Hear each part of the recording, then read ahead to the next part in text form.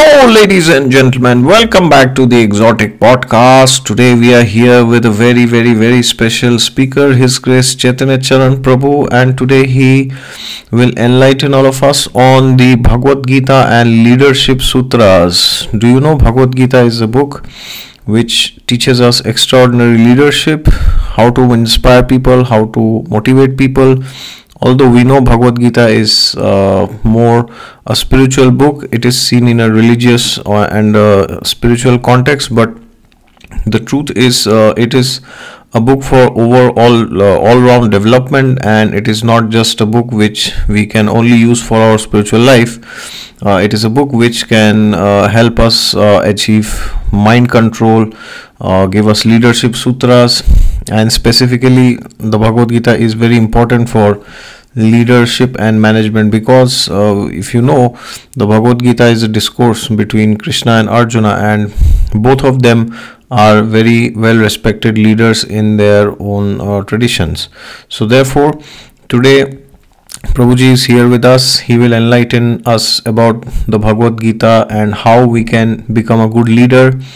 Uh, he has spoken on different uh, variety of topics like uh, with an acronym and uh, he has also spoken on difference between leadership and management and also how the bhagavad gita can help us become a better human being. So he has been uh, teaching the bhagavad gita. He's into spiritual practices from the last 25 years and he has also been the author of around 27 books and most importantly uh, he he has a blog on the Bhagavad Gita, which is www.gitadaily.com, uh, with over 4,000 articles written on the Bhagavad Gita. So please check it out if you are interested in learning more about the Gita. And he's uh, primarily uh, invited into TEDx and other uh, different uh, companies like you know Google, Microsoft, and also to other universities like Harvard, MIT, and Cambridge uh, to give different talks on uh, science, spirituality, how to merge uh, both the domains, and also he keeps traveling quite frequently as you can see like he gives around 400 talks across 100 cities in four continents every year. So uh, please enjoy the podcast and if you're new then don't forget to subscribe to the channel and like the video and share it with somebody who wants to know how to become a good leader and also you can find uh, the website and other dis- uh, things regarding to Pro- regarding Prabhuji in the description section of this video. So, in case you are interested, please check them out. Okay, thank you very much, and please send in your greetings and blessings to him and enjoy the podcast. Thank you. Hello, ladies and gentlemen. Welcome back to Exotic Astrology. I am very excited to have His Grace Chaitanya Charan Prabhu with us today in the Exotic Podcast. Welcome, Prabhuji, to the Exotic Podcast. Uh, very happy and delighted to have you finally. Uh, Prabhuji's introduction you might have already heard, and today he will enlighten us on the leadership sutras from the Bhagavad Gita. So I'm sure you must have heard about the Bhagavad Gita from so many places. Uh, but today, uh, Prabhuji is a very, very, very uh, exceptionally talented speaker when it comes to the Bhagavad Gita specifically. And today he will explain us hopefully with diagrams and this, uh, you know, whiteboard. So uh, please uh, let us know your que- questions and comments, and also please watch the podcast till the end, and also let us know down in the comments what all uh, other things would you like to hear from him? And also he has an amazing website thespiritualscientist.com and other books also he has written. So you will find all this information down in the description section. So Prabhuji welcome and the stage is all yours. Please enlighten us. Thank you. Thank you. Happy to be here with all of you today. And uh, the Bhagavad Gita, as a leadership book, is a field that I have contemplated quite a bit. And uh, I'm happy to share something. So let me start with the introduction yeah about why the Bhagavad Gita should be at all considered to be a book on leadership. okay Mhm. So the Gita is seen by different people in different ways. Some people see it as a religious text. Mm. Some people see it as a yoga text. Yeah. Some people see it as a philosophical book. Yes. Now, all these perspectives have their value to it, undoubtedly. But along with that, and beyond all of these, the Gita is also very much a book about decision making. Oh, I see. Okay. Because the Gita is spoken when Arjuna, the student, has to make a decision. It's a difficult decision to make. Correct. So that is when the Gita is spoken. So now decision making is key to leadership. Okay. Yes. Mm. So leaders, they have to do things quite a bit, but more important than doing is actually deciding what to do. Yes. As they say, that's that's one of the key differences between leadership versus management. Management is doing the things right, whereas leadership is doing the right things. Okay. So management is more about execution, Yeah. but leadership is more about vision. Hmm. It's like if you want to climb up a ladder, management is about how can you get the whole team to climb up as fast as possible. Yeah. But leadership is ensuring that you're actually climbing up the right ladder. Okay. That so so the Gita is about decision making, and in that sense, the Gita is very much about leadership. Okay. So also, if we consider Krishna and Arjuna, both of them are leaders. Mm. Yes. and both of them are leaders who have risen purely on merit. Yes. Mm. Yes. Yes. That if you see Krishna's story, although Krishna was born in royalty, he had to live in obscurity. In fact, he had to live in threat of his life for much of his childhood. Yes. And only later he became, he regained royal his royal position. Mhm. But even after that, he actually did not take up the role of the king. Hmm. He was a, he was in the role of the a guide of the king, the advisor of the king. Correct. So he could very well have become the king, but actually Krishna demonstrates. We will not go into the story of it, but just a quick background that a leader is more concerned about the contribution Hmm. than the position.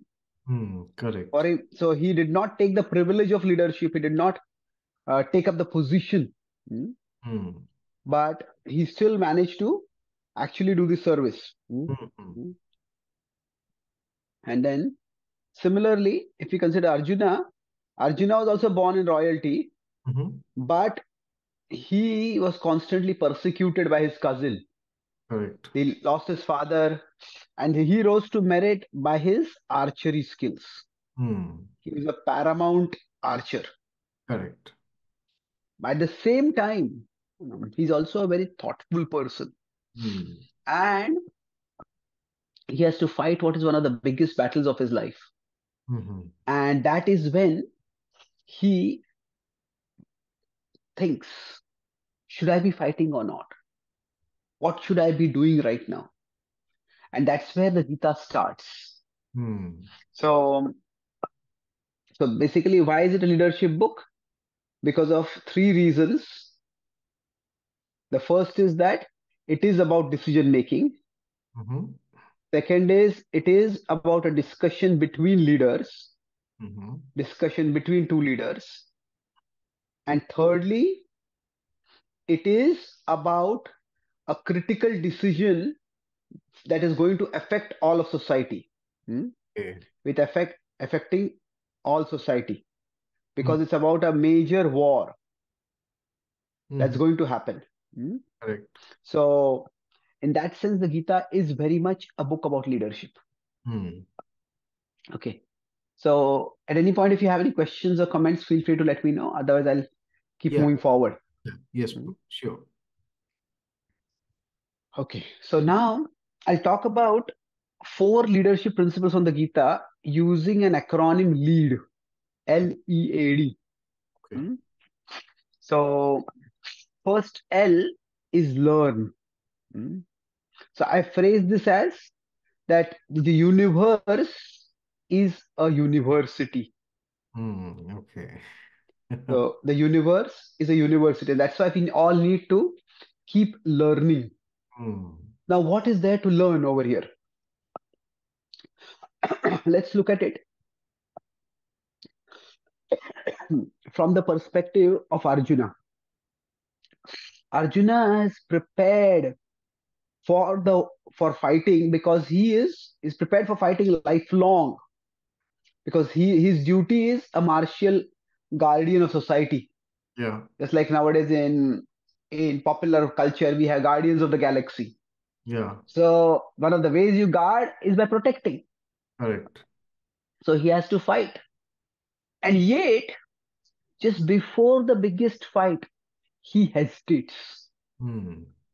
So now generally the gita because it is spoken on a battlefield that can lead to some misunderstanding or at least some apprehension about the Gita. So is it a book of violence? Yeah. Is it a book, you know, Arjuna didn't want to fight and Krishna made him fight?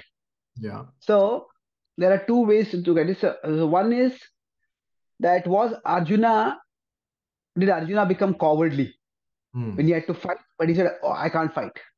Yes. And was Krishna violence inducing? Yeah.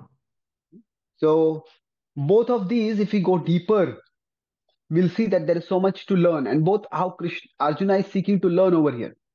Mhm. See, Arjuna was he cowardly? Well, if you look at in chapter one in the Gita, Yeah. there his reasons are given. So Yes. basically, the Gita has 18 chapters, and the first one is where Arjuna speaks the most, and he enunciates his concerns and reservations about fighting the war. Mm-hmm. And what is striking is that there is no mention at all of fear of his own death. Oh, okay. Not once does he mention that. Ah, Hmm. okay. Yes. Normally speaking, if we consider that when a person is about to oh, fight and they have certain reservations about fighting, it will quite likely be because of fear. Now there's a war going on between Ukraine and Russia, Yeah. and people are being conscripted into the war. Yes. Conscripted means forced to fight, and they may be utterly unprepared, unwilling, and they may just get an attack of nerves and refuse to fight. Yes. Uh, Arjuna was not at all like that. He was a seasoned warrior and he was hesitant, but it was not because of fear that he might die.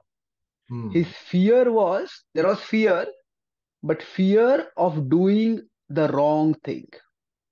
Hmm. Hmm? So his even his fear is you could say this is a more selfless fear. Okay. If you consider CEO of a company, say the company is going down, Yeah. about to is facing a major uh, major financial challenge which it might go down and the ceo might have fear but the fear could be that that you know i have uh, bought a beach house Okay. and how i'm going to pay the mortgage for it Yeah. Hmm. Yeah. Yes. or the fear could be i have 500 employees and what will happen to their lively their livelihood and their families Hmm. so the fear both are fears but one is a much more self-centered fear Yeah. the other is a much more selfless fear Correct. so even arjuna's fear res- reveals his leadership qualities Oh. he's concerned about the consequences for society at large Hmm. Yes. Mhm. so now similarly that's one side sometimes people feel that that people that krishna was a god who induced arjuna to fight and especially nowadays because there's some religious violence in the world Yeah. since 9-11 uh, there's a specter that any book which talks about violence Mm-hmm. is uh, something we should be afraid of Hmm. especially when religious book seems to be talking about it Mm-hmm. however if we consider the gita's so gita's content hmm, what krishna speaks so is krishna violence inducing if you look at the content what is the easiest way say if this is person a and okay, this is person A, and this is person B, and there's C over here. Now C wants A to fight with B. Mm-hmm. Hmm? Now, what is the easiest way to do that? That is basically the easiest way is to get A to be incited. Hmm? Yes. Yes. It's incite. Now, how do you incite?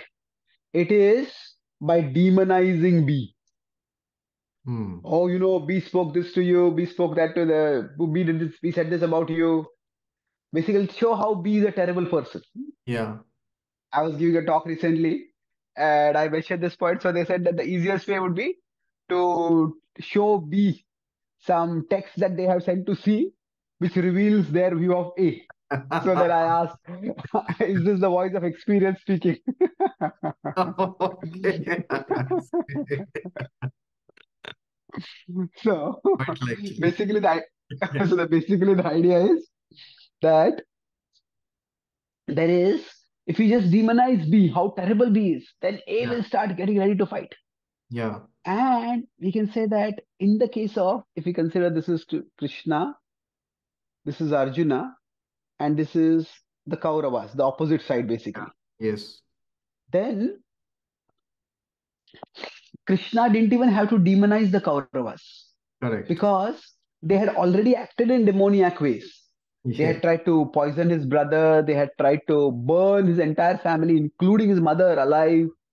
They had they had tried to disrobe and dishonor his wife. Even a mention of one of these incidents could have been enough to make Arjuna's blood boil Yeah. and get him to fight. Correct. But it is remarkable that in the entire Gita, not once does Krishna mention any of these incidents. Oh, yes. Yes. That is correct. Yes. So, if Krishna's purpose were simply to get Arjuna to fight, then he is avoiding the obvious way to get him to fight oh. by Oh, inciting anger and hatred toward the enemy. So if somebody has to eat food, instead of eating food like this, why would they want to eat like this? Yeah.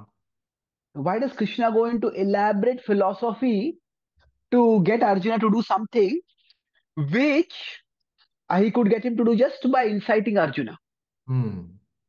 So this is where the answer comes in. The Gita is not insightful. Oh, okay. It is insightful. Oh, Hmm? I see. Yes. It is not a Gita that incites people, Yes. but in the sense of making them provoked, but it Yeah. provides insights. Yes. Yes. Very. And what does this mean? So the Gita is actually not providing Arjuna's circum- it, circumstantial reasons Mm-hmm. for fighting. You know, Mm-hmm. they did this to you, therefore you should do this to them. A case could be made on basis of that also. But what Krishna is giving him is universal principles Hmm. for living and for decision making specifically. Hmm. Correct. And that is why he goes into philosophy. That is why he goes into analyzing Arjuna's worldview. Mm-hmm. So the point is, I said that the universe is a university. Yeah. So uh, I am explaining that from two perspectives. That Arjuna is even in the he- heat of the battle is thinking. So we all can learn from that. That in life, from Arjuna's perspective, don't just act impulsively. Think and learn. Hmm. That's one aspect of learning. So we, we, if we act impulsively, we don't really learn much from life. Hmm? Okay. So think and learn. But from Krishna's perspective, what Krishna is doing is he is actually turning the battlefield Hmm. into a classroom. Okay. So that means that many na- nowadays experiential learning is emphasized quite a bit. Yeah. That instead of just teaching some theory in the um, classroom, take people on a field visit Hmm. and give them an experience, what they will learn. Hmm. So therefore, this is now to actually take somebody on a field and teach them that itself requires a little bit expertise hmm? Mhm. so you could say you know teaching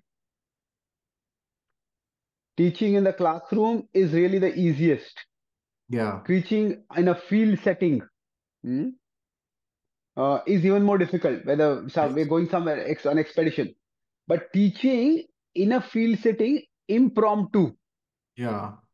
hmm, impromptu on a setting or in a on a field setting is the most difficult Mm. Correct. so it is not that krishna and arjuna had planned. Oh on the battlefield we'll have a discussion. Arjuna had that uh, hesitation and krishna took that opportunity to teach. So Mm. this shows even krishna's leadership quality so the best leaders they like arjuna are seeking to learn and the best leaders like krishna are you using real life situations to help others learn Mm. so rather than simply think oh this is uh, this why is this happening? Why do i have to do this? So arjuna could have had the typical reaction why do i have to fight? I won't fight. And krishna could have said it's obviously you have to fight. Why are you throwing a tantrum over here? Yeah. so a typical reaction which could have been from both sides is not demonstrated over here. Mm. both are having a learning mood. Now of course krishna in the tradition is considered to be god. Yeah. and that is true. By the same time krishna is observing the opportunity of the battlefield and using it to teach so krishna converts the battlefield into a classroom by his personal presence Mhm. as well as by his presentation of the wisdom Mhm. so both of these presence and presentation they help him to transform Mhm. mm, uh, the battlefield into a classroom. So basically, the leadership lessons are what can I learn? Mhm. That is from Arjuna's perspective.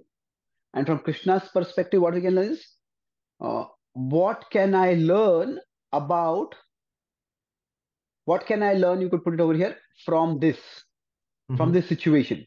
Yeah. Whenever a leader is facing a difficult situation, what can I learn from this situation?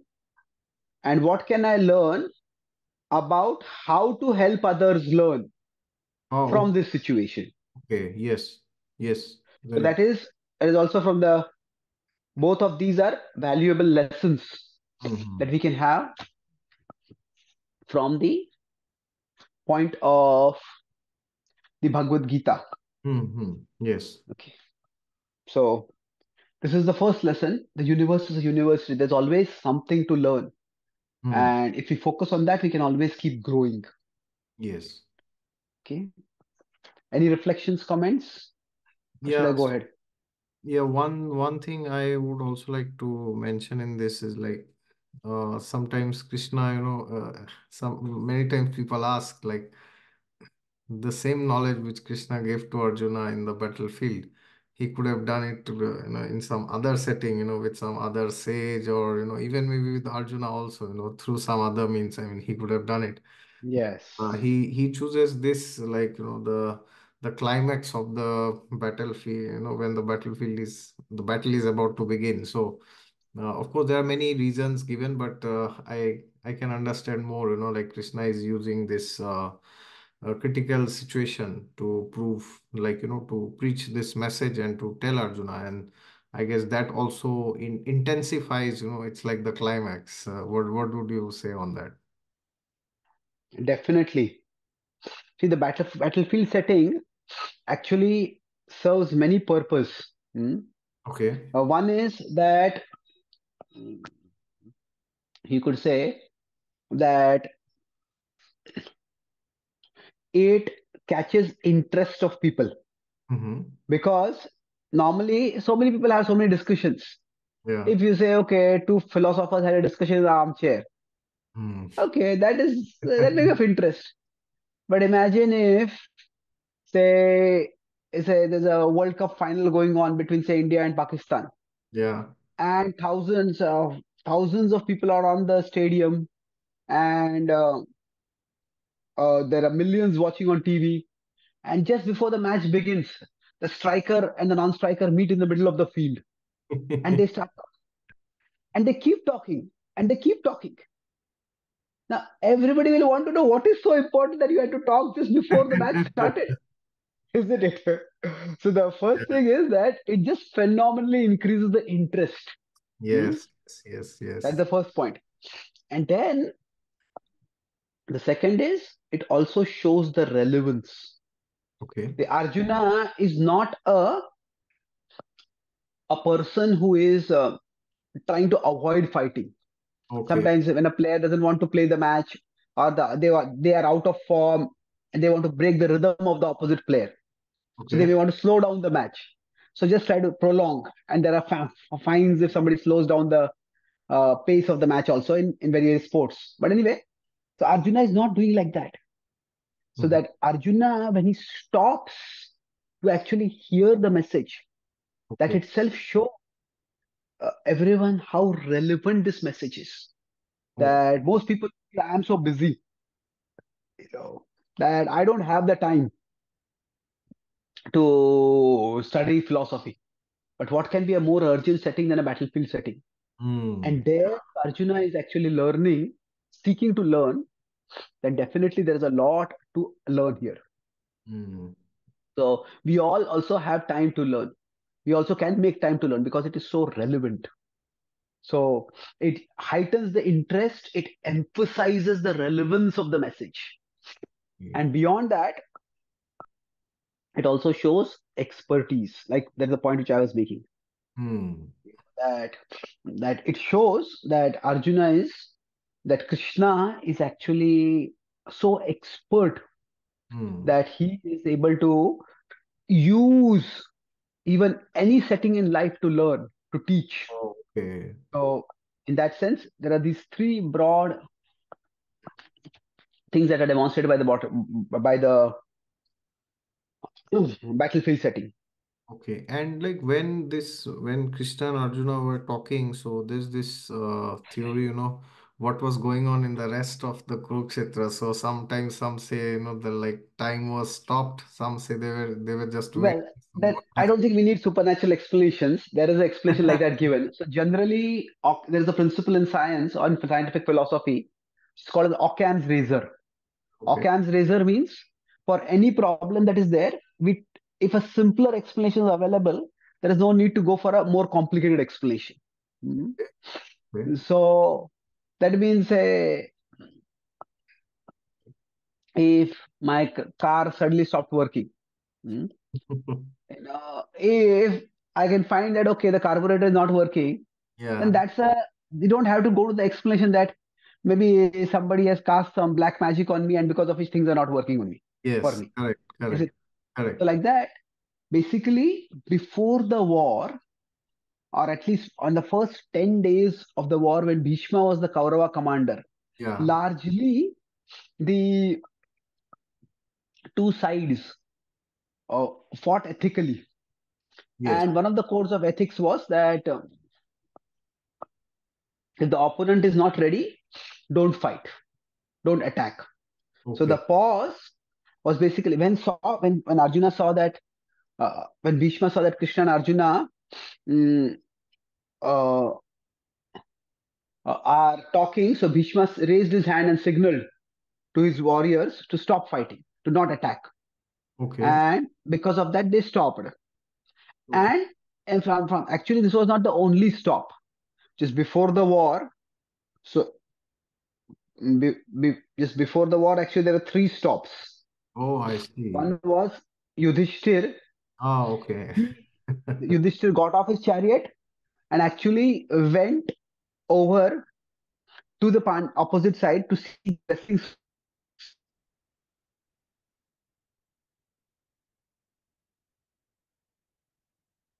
Uh, I can't hear you again.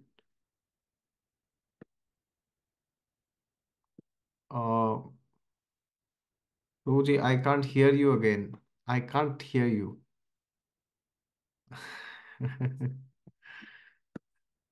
Roji, uh, I can't hear you again. on the instructions of Krishna. Arjuna offered prayers also.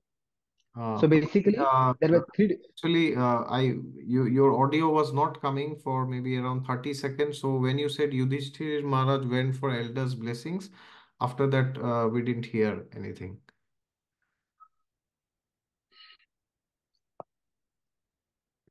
Okay. So basically, before the war, there were three pauses. Yeah. So our Krishna's pause was not the only pause. One was when Yudhishthir sought the blessings of our, our, the elders. Then Arjuna also heard the Gita.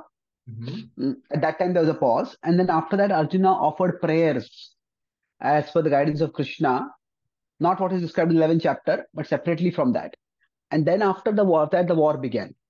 Okay. So we, we can always use this Occam's razor.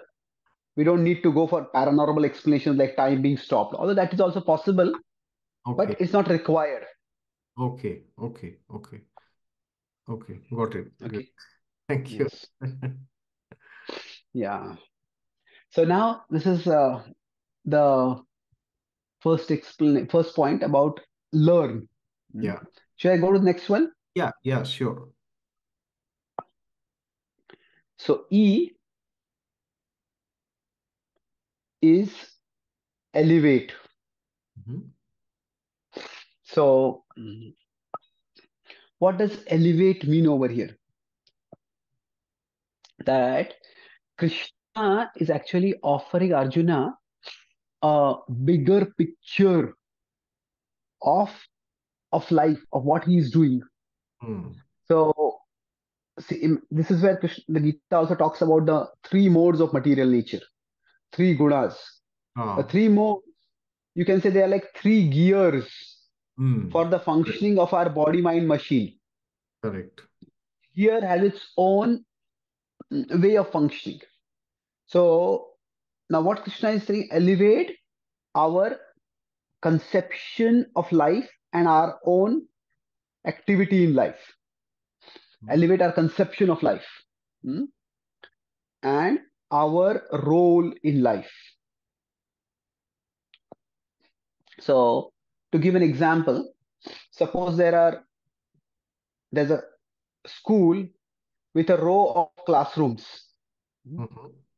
and there are there's a teacher in each of these classrooms which is teaching students Yes. so now each of these teachers if we go and ask them what are you doing the first teacher says that i'm teaching this dumb subject to these dumb students now that's not a very uh, inspiring or motivating vision of that area. now maybe the students are difficult but that's a particular vision Yes. the second thing you ask i'm earning my living by teaching these kids how they can earn their living in future Hmm?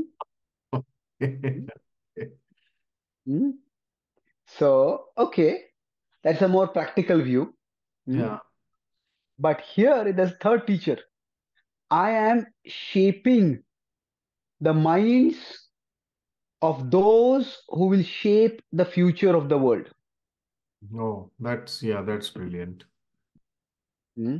now the same activity but the vision is so different Correct. isn't it Correct. Correct. so this is the characteristic of the bhagavad gita's vision Okay. that it says that our vision determines our motivation so the bigger our vision Hmm. the bigger will be our motivation in life Hmm. so we may or may not be teachers but uh, whatever role we are doing we can have a very reductionistic vision we can think oh you know i hate this job. I hate this job but i have to do it because i have all these responsibilities. Hmm. you know maybe my parents left a debt on me or my family is requires so much money and i hate everything. I hate my job. I hate my responsibilities but i have to do it. What? So this the gita says is a vision. Ah, okay. Tamagun. Okay. Ignorance Hmm. so, so this is a vision that is unhealthy so for for one of the key jobs of leadership is to get a bigger vision of things and share a bigger vision with others Okay. Mhm. so first we are and after we then we elevate or we expand the vision of others, about what they are doing. Okay. So now, now if somebody is especially working, say in a role of leadership in the corporate world, Mhm. then naturally they are going to have to focus on profits, Yes. and that's natural. But uh, for the Rajas vision will be okay. I'm going to make a lot of money. I'm going to live in luxury. Way of looking at it, but no, this is a vision that grows tired soon.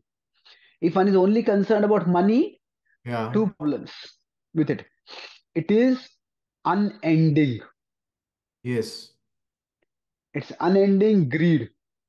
And I have this much money. I'm a millionaire now. I want to become a billionaire. Once I'm a billionaire, I want to become a trillionaire. Yes. It's never going to end. Hmm?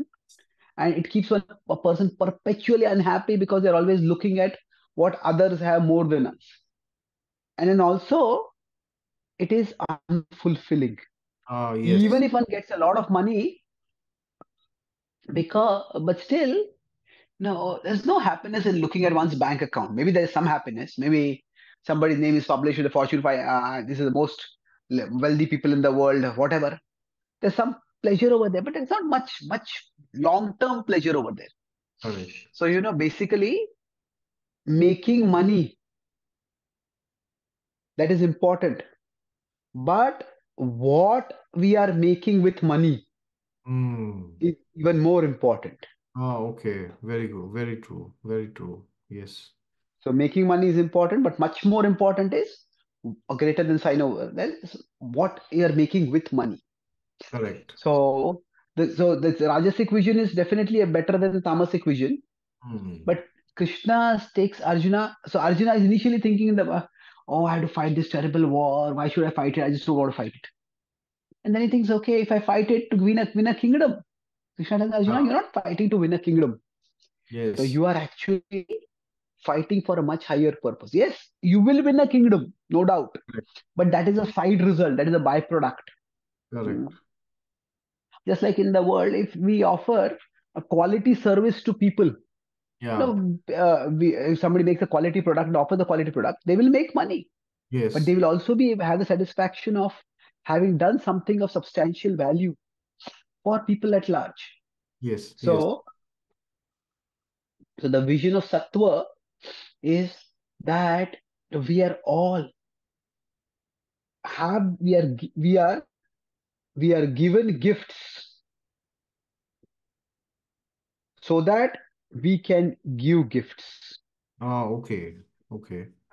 and whatever abilities we have Mm-hmm. whatever uh, resources we have these are gifts which are given to us Hmm. and they are we are we can give gifts means we can make a difference with these gifts Hmm. whatever be the specific way in which we can make a difference that will vary from person to person Yeah. from situation to situation but this is basically a mood of service Hmm. in the in the eastern yoga tradition this is called seva Yes. that a vision of service that so elevate our conception Hmm. of what we are doing elevate our vision of life and when if we are only thinking about how much hard work it is or we're thinking only of how much money is going to give me sooner or later we may start feeling that the that the hard work is too much or the money is too little Hmm. and we'll get tired but if you're thinking that what contribution i'm making then no, then that will keep us moving forward in life Correct. Very true. Very true. there are times when we can't control how much hard work we have to put in there are times when we can't control how much money we are going to get Yes. but we can always have an attitude of service and Yes. thus we can we can move ahead in our lives Hmm. okay so that is the second aspect of the teaching of the gita elevate elevate our vision of what we are doing Hmm. Correct. Very good. okay so should i go to third one now Yes. Yes. are there any reflections questions Uh, good as of now. Okay. So A is appreciate. Hmm. Mm. So this is actually this is based on 1715 in the Bhagavad Gita, where Krishna talks about the discipline of speaking. Mhm. So one of the key key things that a leader has to do is to guide the guide, instruct, inspire Yeah, the subordinates, correct. and that happens through the power of words. Hmm. That in Chanakya is a great statesman from the Indian tradition, and he says that if somebody has to become a leader of men, they have to be good in weapons. But more important than good you being good in the use of weapons is that they have to be good in the use of words. Oh, I see. Because it is through weapons you can fight well, but through words you can inspire a thousand people to fight well for you. Wow, brilliant. Yes. So, so in that sense, leadership, leaders, they have to be good at they're good at weapons, especially if they're they are martial fighter. That's true. But what is much much more important is that they be good at words. Now, good at words does not mean that one just sweet talks and misleads others. Yeah, yeah, yes. It is about authentic appreciation of others. Okay. So the Gita Gita says that when our speech mm, it can have two distinct characteristics. Mm. That one is it is sensible, mm, but it is also sensitive. Hmm. That what we speak is it makes sense, it's rational. So if we are correcting someone, uh, then we don't just condemn them, we don't just judge and label them, Yeah. but rather we explain this is what you did and you are thinking in this way but this is where your thinking is is not so helpful over here Mm. Hmm. So so it has to be sensible it also has to be sensitive Hmm. Mm. when bo- so sensible basically addresses the head sensitive addresses the heart Mm. we have our reasoning faculty we Hmm. have our feeling or emotion faculty Hmm. nowadays neurologist talks about two parts of the brain Yeah, and how the, the two parts of the brain function differently correct. and leaders should be able to tap both of these so Okay. in the gita if you see generally whenever a message has to be given mm, the gita has two distinct components to its message Okay. one is that there is enlightenment and that is what comes through the philosophy Mhm. but there are many places where krishna speaks in a very affectionate way and that is where he's offering encouragement Okay. he's offering empathy he's offering understanding he's offering hope so krishna himself is demonstrating these two qualities of enlightenment and encouragement Mhm. and we all can be doing something similar so leaders should when they speak and they guide if they can appreciate that everybody even the subordinates they're also facing challenges that we need to know uh, we appreciate that they are trying their best Hmm. and we appreciate what is the good that they have done. So appreciate means we sh- leaders will naturally tell them you have done this wrong and you have to do this right. This is the way to do it. So that in one sense, the enlightenment of what to do, what is wrong and what is right, that is naturally going to come because the leader will not be able to function otherwise. Yeah. But if the leaders also focus on encouraging others, on Hmm. appreciating, and that will be a significant step forward for them. Okay. So that's the third part of appreciate. Mm-hmm.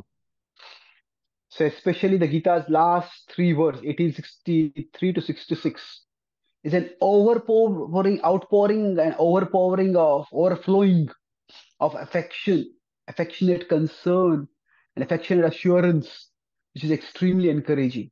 Like Hmm. that, there are many examples where, Krishna walks his talk. Okay. So that brings me to the. Should I go to the last part now? Yeah, yeah, yes, yes. So the last is D is dedicate. Mm-hmm. Mm? So here the idea is that when we are functioning in our lives, uh, this is somewhat related with the idea of elevate, Mm-hmm. but there is a slight difference. The difference is that when somebody is functioning, elevate is how we look at things. Like the teacher, how is the teacher seeing what they are doing? Mm. I am shaping the minds of those who are shaping the world, uh, shaping the uh, future of the world. Now, dedicate means so so elevate is more in terms of dedicate vision. Dedicate is more in terms of action. Mm. Yeah. Mm. So it is with what conception am I doing this? Why am I doing this? Mm. We all need a sense of meaning and purpose in our lives. Correct, correct. And if we are thinking that I am all alone in this world and I am fighting against this bag, big bad world to make make my mark, to find my place, to conquer the world, then it is a very antagonistic view. Yes, life is tough and we have to face challenges, no doubt. But there is a bigger vision of the world. So basically, one of the key teachings of the Gita is that each one of us, we are parts of the divine. Mm. And once we are understand we are parts of the divine, what it means is we have parts Mm. in the divine plan. Ah, okay. So, for example, if somebody is a part of a cricket team or a football team, Mm. if they're a part, that means the coach, the captain, whoever selected them, they have a part in mind for them, isn't it? Correct, correct, correct. So, like that, we are all parts of the divine, and therefore each one of us has a uh, has a part. And no, life, life is basically when we understand this part, life is not an individual sport. Mm. It is more like a team sport. Uh, individual sports, you say like tennis or chess, where one person is playing. Team sport like cricket or soccer or football or hockey. Mm. So when life life is less of a team sport, more of a less of an individual sport, more of a team sport, Ah, okay. and we belong to the team of the divine. Every one of us belongs to the team of the divine. Mm. And when we work in a mood of harmony, it's like the key uh, for a performer. Every player in a team wants to perform, but the player wants the best players. They want their team to win. Ah, Now, while they make their team win, they also will want to excel. But their primary purpose is not that I want to excel. Their pri- primary purpose is I want to make my team win. Mm. I want my team to excel. So when we similarly if we understand that we are parts of the divine. So see, one vision is that say I am here and there is some divine somewhere up there. Hmm? This is one way of looking at things. Well, this is true, but what the Gita says is that actually the divine exists. Put this way, that the divine actually exists everywhere. Ah, The divine exists in the world also, pervades the world, and we are parts of the divine. Okay. So each one of us, whatever we are doing, if we are focused too much on our own individual success, Yeah. You know, that I, you know, I want to be famous, I want to be powerful, I want to do this, I want to do that, Yes. then we will, we satisfaction will elude us. Mm. So when we work, understanding that I am a part of a bigger plan, I'm a part of a bigger vision. Mhm. So in life, many times plans don't work. Mm. Now we, we have to make plans. But Mhm. sometimes when we make plans that don't work, we become frustrated, we become discouraged, we even become shattered. Hmm? Yes. Yes.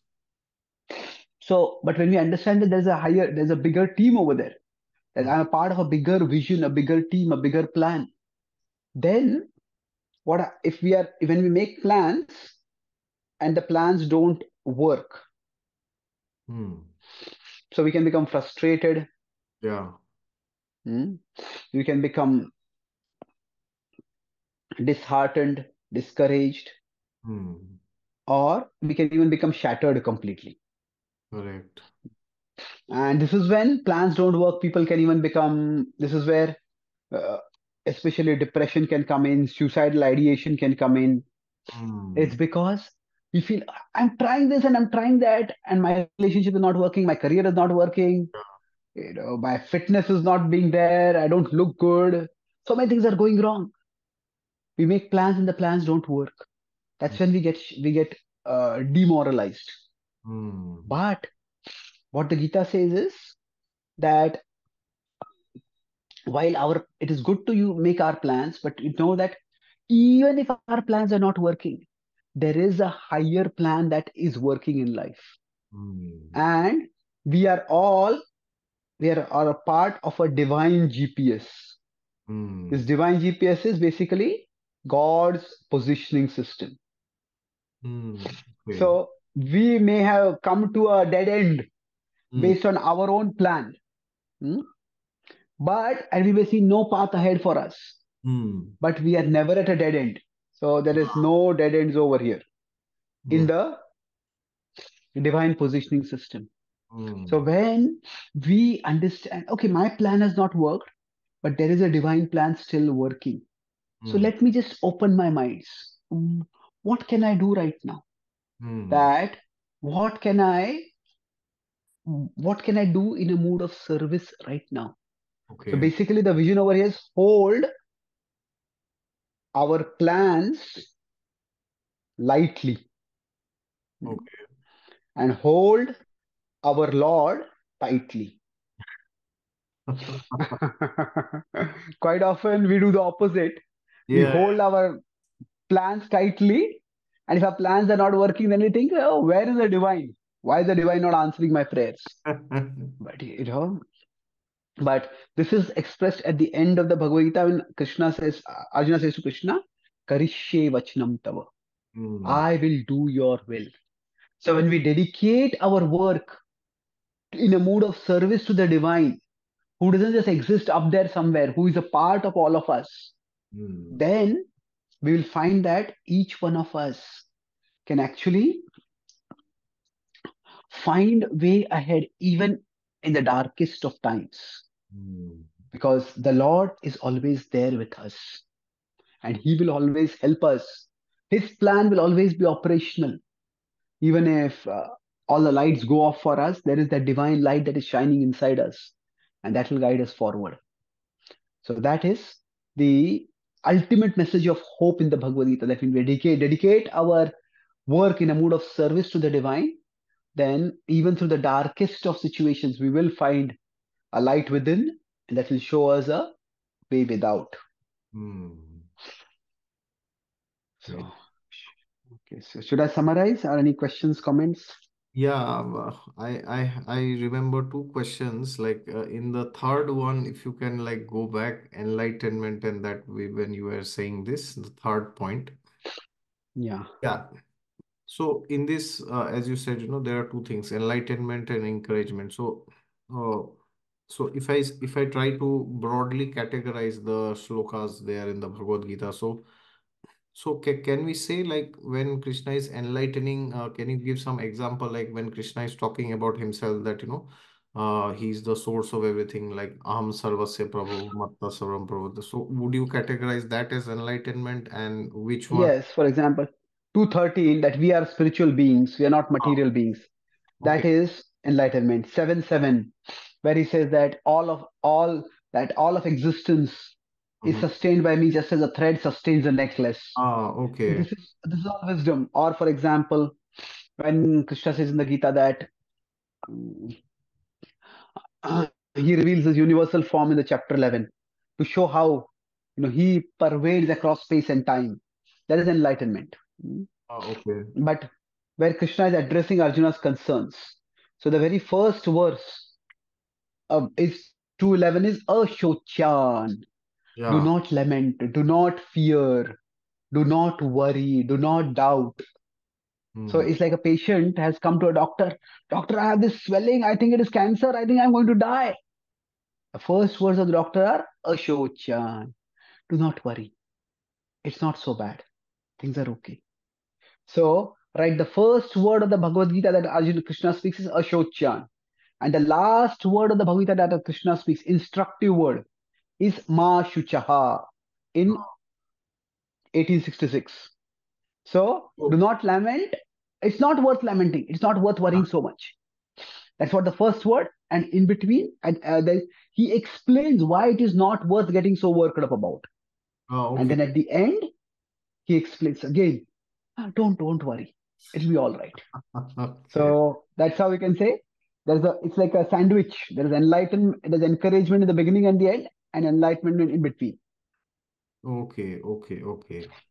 And regarding the fourth point, dedicate that you have mentioned, so so in this, you know, the universal aspect, you know, that we are a part of a larger plan. So Uh, can you give like at least one example, like, you know, in any shloka in the Gita where Krishna is kind of saying this, or any specific area where he goes into this, where he tells, you know, that Arjuna, there is something bigger than, you know, all this. So, what would you say on Well, as I mentioned, 15.7 itself it says philosophically that we are parts of the divine, Yes. that Mamai Vamsho Jiva Loke. Yeah. But it's what he says is we are always parts of the divine. Now, sometimes this, uh, or most of the time, this verse is used from philosophical perspective to say that we don't merge into God. We always remain parts of God. Yeah. That is a philosophical point. But the practical implication of that is worse. If we are always parts of God, Mhm. that means we will, we always have parts in God's plan. We'll always, it's Ah. like you will, uh, so you're telling a person, you'll always be in the Indian cricket team. Hmm. Okay. Hmm? or you'll always be a part of our group. You'll always have a job over here. That means we'll always have some role for you over here. So that Okay. is 15.7. But again, later on, especially in 1133, Krishna tells Arjuna that Tasmat Muttishta Yasho Labhasva. Therefore, arise and fight. A victory is assured. My arrangement is working. And in that purport also, um, Srila Prabhupada mentions about how the universe is operating under a divine plan. Okay. Great. Okay. And also, there's this one uh, theory which floats around where some people say that Uh, Krishna, as you said in the beginning, you know, the first point that Krishna is not trying to incite Arjuna to fight. So, Hmm. so Krishna could have, you know, uh, told all this, you know, what Duryodhan and Dushasan did, but he did not do that. But sometimes people also believe that uh, Krishna had purposefully taken the chariot in front of uh, Drona and Bhishma so that Arjuna's weakness uh, and affection comes out and not in front of uh, Duryodhan and Dushasan. So, uh, what, what is your comments on that? Yes, that could be said. Now, the word- wording of the Gita is ambiguous. Bhishma Drona Pramuktaha Sarvesham cha Mahikshita Uvacha Parth Pashaitan Samvetan Kuruniti. So in the first chapter, when that verse comes in, Bhishma Drona Pramuktaha, that in the opposite army in which Bhishma and Drona were prominent.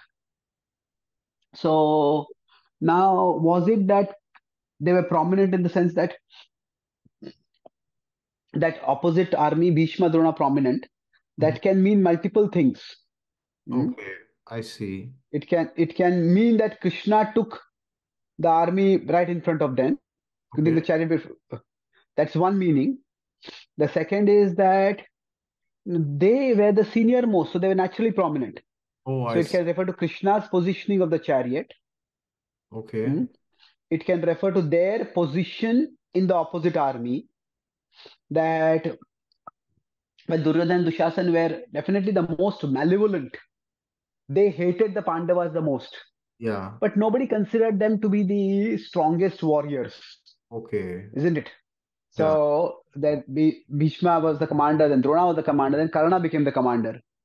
So, so it could be referred to their position in the opposite army. Hmm. They were the leaders, Hmm. or it could refer to mm, Arjuna's disposition also, because for Arjuna, the greatest affection was for them. So he was looking at them.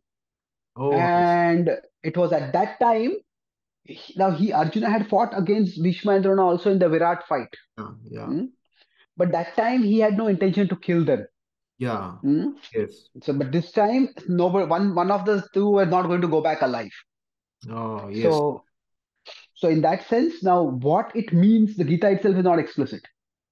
So, Okay. uvacha partha pashetan, just see. Now, even, even if we take it that Krishna deliberately positioned Arjuna there, what is the implication of that? It is not that Krishna is controlling Arjuna's emotions. Arjuna has some concerns, Yeah. and Krishna helped further create the setting where those concerns would be addressed. Hmm. So if Krishna had taken the chariot somewhere else, Arjuna thought, okay, maybe, yeah, I can fight. I've seen the opposite, I'll fight. fight. Yeah. But when he actually saw Bhishma and Drona there, then the stakes registered so much within him. These are the people I have to fight against. Hmm. This is like the worst nightmare of my life come true. Yeah. Uh, the very people whom I want to make proud by my fighting ability. Yeah. Now I have to make them the target of my fighting ability, target to the point of killing. Is this really worth it? So basically, leadership requires making hard decisions. Ah, okay. Yes. Yes. So now, like uh, the, those who are really leaders, good leaders, uh, they have to sometimes fire people under their uh, uh, in their team or in their company, Yeah. and it is a hard thing to do. Yeah. And sometimes the leaders might just outsource it to someone else. You know, you fire it, and somebody just sends an impersonal email. Hmm. Mhm. But uh, you know, real leaders they will not dodge that job.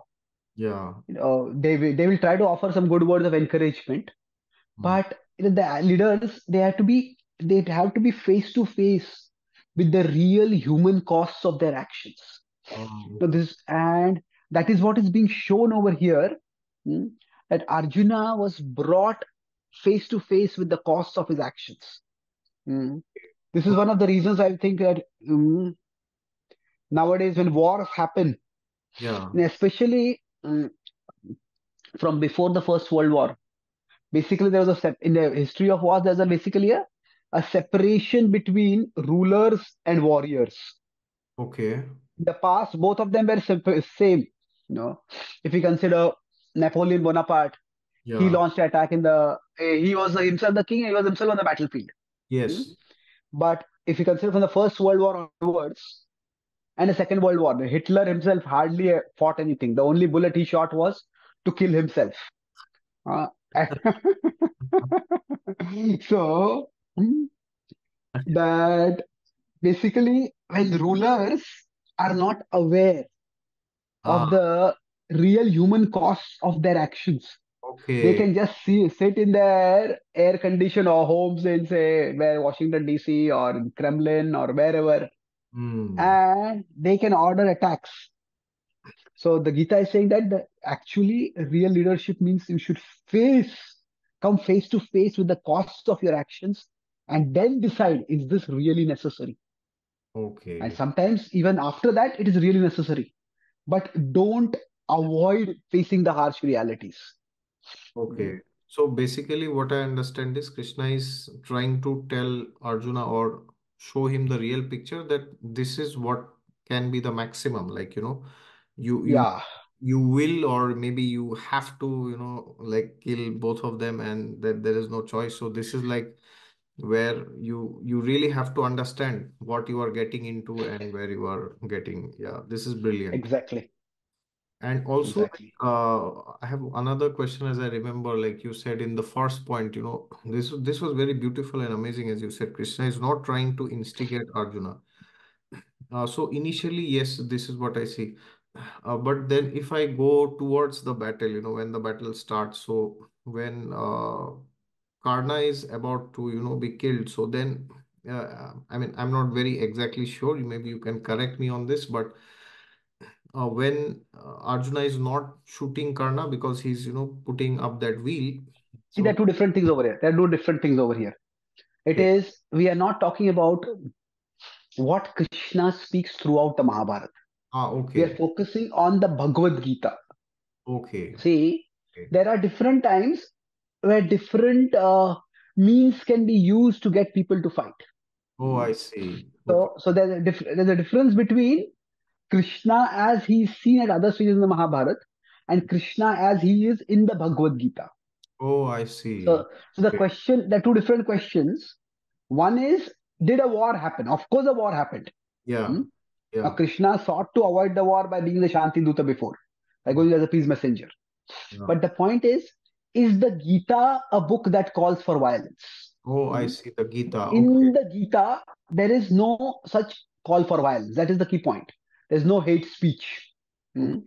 Even when Krishna tells Arjuna to fight, he tells Arjuna, have no enmity towards anyone. So you, you fight more as a duty, You're fighting to establish order in society, Okay. not to take revenge against the opponents. Okay. Okay. Okay. So, so you are saying like what he has said in the Gita specifically that need not replicate everywhere else in the entire Mahabharata. This is what you are saying. Yes. So um, the Gita is talking about universal principles of living. That is the focus. Okay. Okay. Mm. Great. Thank you. Okay. Thank you so much. It was like uh, amazing, very beautiful to hear uh, these four uh, leadership sutras. Uh, I'm very, I'm very sure that whoever is hearing this, they would get a very good perspective on what the Bhagavad Gita is because the Gita is primarily thought of as a religious book of the Hindus or as a spiritual guide, uh, which it is none, none, no, undoubtedly, but there are so many other things, you know, like we can discuss like for hundred or thousand sessions, you know, what the Gita exactly is. And today, uh, you have very beautifully brought out all these four lessons. So, uh, so to all the viewers of the podcast, uh, I'm sure you enjoyed it, and if you liked it, then please show your appreciation for him by hitting the thumbs up and sending your best wishes in the comments. And uh, as I said before, you will find his website down in the description section and all the books that he have written. And also, uh, please let us know your feedback on what do you think about the session. What what are some similar topics would you like would you, would you like to see from him? All right. So I will now uh, stop the recording. Uh, thank you so much for all all of your time, and I'm sure you will be benefited by this. All right. Thank you.